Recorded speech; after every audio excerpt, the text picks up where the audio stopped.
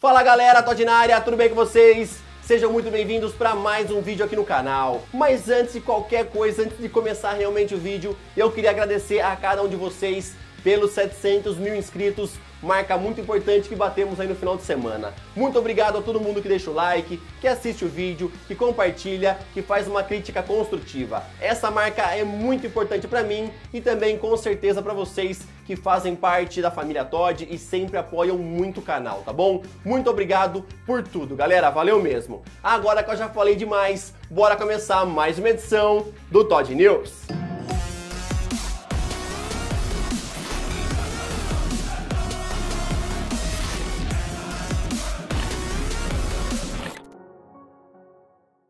Só passando antes para avisar que esse vídeo aqui é um oferecimento do aplicativo OneFootball. Lá você vai escolher o seu time do coração, acompanhar as últimas notícias, transferências, placares e tudo mais. Ele é grátis, está disponível para Android e iOS.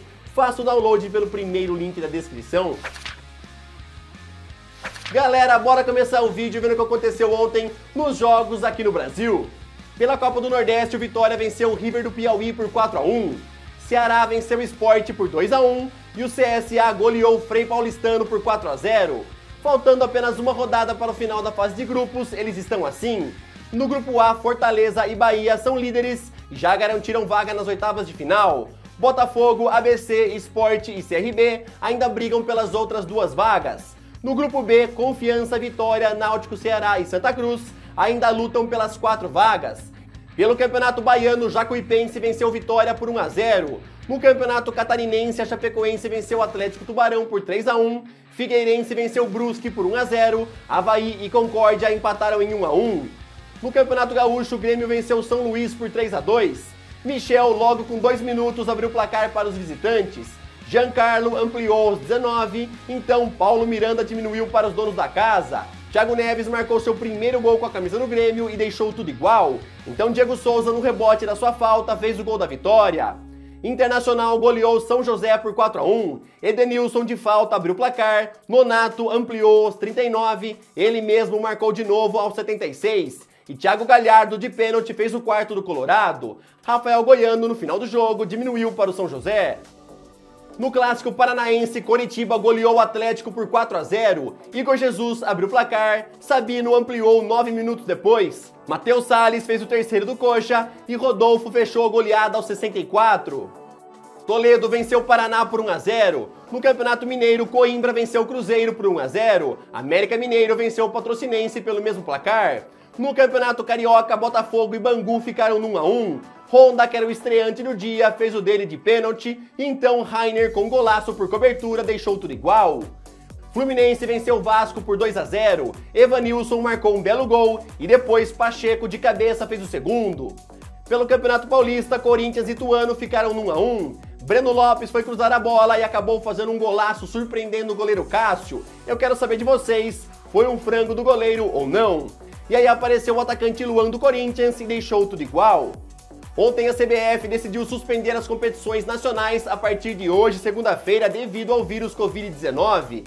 Ou seja, as competições englobam Copa do Brasil, Campeonato Brasileiro Masculino e Feminino, Campeonato Brasileiro Sub-17 e a Copa do Brasil Sub-20. Já para os campeonatos nacionais, cada federação vai se reunir para ver aí qual vai ser a medida que será tomada para cada campeonato. Paulista, Goiano, Paranaense, Carioca e por aí vai. Por exemplo, a Federação de Esporte do Rio de Janeiro, a FERJ, tem uma reunião que já começou hoje às 9h30 da manhã, mas até o momento que eu tô gravando esse vídeo, a decisão ainda não foi anunciada, beleza? E as opiniões estão bastante divididas, né? Tem técnico que apoia o cancelamento, a suspensão, tem técnico que quer continuar jogando, só que de portões fechados. O que, que vocês acham disso tudo? O que, que você apoia? O que, que você acha que deve ser feito? Coloca nos comentários a sua opinião. E obviamente o presidente Jair Messias Bolsonaro também deu a dele. E ele falou que vê aí o cancelamento das partidas de futebol como uma histeria. Se liga só.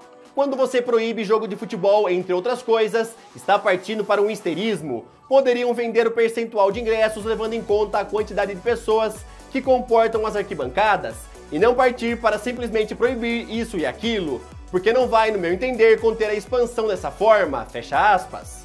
Adilson Batista não resistiu à derrota para o Coimbra ontem pelo estadual e foi demitido do comando do clube. Ele fez duras críticas ao conselho gestor, dizendo que tudo lá dentro está uma completa bagunça. O nome favorito do Cruzeiro para assumir o cargo é de Guto Ferreira, que está atualmente sem clube e tem muita experiência na Série B. Outros nomes também são analisados e a ideia do Cruzeiro é anunciar um novo técnico ainda hoje.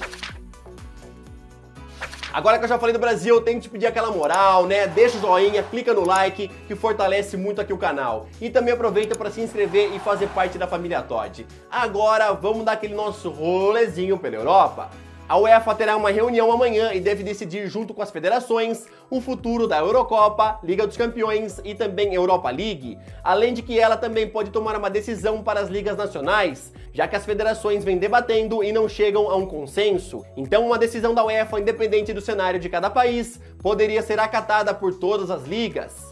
Só para vocês terem uma noção, a vice-presidente do West Ham, Karen Brady, acha aí que a Premier League deve ser anulada. Então a Federação Inglesa de Futebol deveria decidir quem pega a vaga aí de Liga dos Campeões, Europa League e também quem cai para a segunda divisão e quem sobe para a primeira, né, galera? E também vale para a terceira e quarta divisão do mesmo jeito. O que, que vocês acham dessa ideia dela, cara? Imagina o Liverpool que fez uma bela campanha que tá aí liderando com nossa, mano, com muito ponto na frente aí do Manchester City simplesmente ter o campeonato anulado? Eu acho muito difícil a Premier League ser anulada e eu acho também muito injusto isso. O que, que vocês acham disso tudo? Comentem aí as suas opiniões. Lá na Itália também se fala que pode ter essa possibilidade do campeonato ser anulado. Coloquem nos comentários o que, que vocês acham.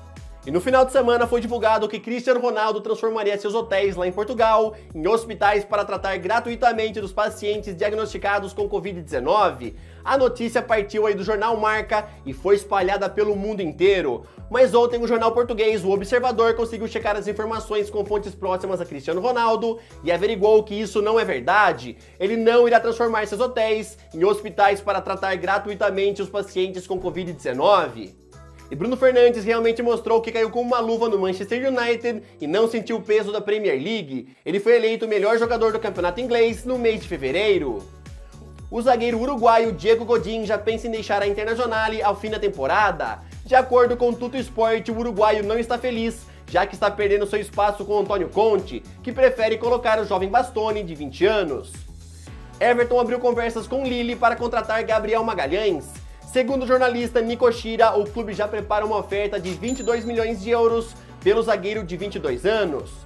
O Getafe já anunciou que vai efetuar a opção de compra por Marc Cucurella, que está emprestado pelo Barcelona até o fim da temporada. O intuito do clube espanhol é lucrar muito com o negócio, já que a opção de compra está avaliada em 6 milhões de euros e eles já têm interesse de Chelsea e Napoli na contratação e estudam vender por 25 milhões. O Borussia Dortmund ofereceu ao lateral belga Thomas Munier um pré-contrato. Como ele está nos últimos meses do vínculo com o Paris Saint-Germain, ele já está livre para assinar com qualquer outro clube. Segundo a Rádio Monte Carlo, o jogador já teria dado sim a proposta do time alemão e inclusive já teria assinado o vínculo. E a procura pelo atacante alemão Timo Werner está aumentando cada vez mais, ainda mais com a baixa multa rescisória de 60 milhões de euros que ele tem com o Leipzig até o final de abril. O jornal Mundo Deportivo publicou que seis clubes já procuraram informações junto ao empresário do alemão e têm interesse em pagar a multa. E eles são Liverpool, Manchester United, Barcelona, Juventus, Inter de Milão e Bayern de Munique. O Tuto Sport publicou que a Juventus já está em busca por um novo atacante para a próxima temporada e a lista do clube já possui quatro nomes: Timo Werner, Gabriel Jesus, Mauricardi e Harry Kane. Real Madrid continua interessado em Sadio Mané. De acordo com a imprensa espanhola, o jogador custaria por volta de 154 milhões de euros e caso o time merengue desembolse realmente esse valor, ele se tornaria o jogador mais caro da história do clube e também a venda mais cara de um jogador africano. A ESPN divulgou a informação que o Paris Saint-Germain não colocará obstáculos para que Neymar deixe o clube e pretende receber 150 milhões de euros por ele, valor que o Barcelona está muito apto a pagar. Todo o esforço do Paris Saint-Germain está em Kylian Mbappé, já que o atacante é considerado inegociável e o Paris Saint-Germain prepara uma renovação de contrato com o salário de nível de Messi e Cristiano Ronaldo. Bom, galera, essa daqui foi mais uma edição no Todd News. Eu espero que vocês tenham gostado. Comentem sobre tudo, beleza? Lá no Juventus, qual das quatro opções estudadas cairia melhor? Timo Werner, Gabriel Jesus, Icardi ou Harry Kane? Comentem também sobre Timo Werner, aonde que ele cairia melhor. O Barcelona podendo comprar Neymar aí por 150 milhões de euros. Falem sobre tudo, bora bater um papo. Tamo junto, valeu, falou!